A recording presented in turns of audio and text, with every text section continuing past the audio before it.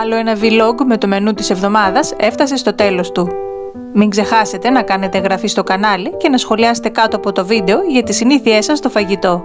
Βρείτε τον Τολμαδάκι και στο facebook και στο instagram για να τα λέμε και εκεί σε κάθε μαγειρική περιπέτεια. Μην ξεχνάτε να τρώτε όλο σας το φαΐ. Μπορεί μπορεί να μην γίνει, αλλά η τελευταία μπουκιά είναι η δύναμή σας.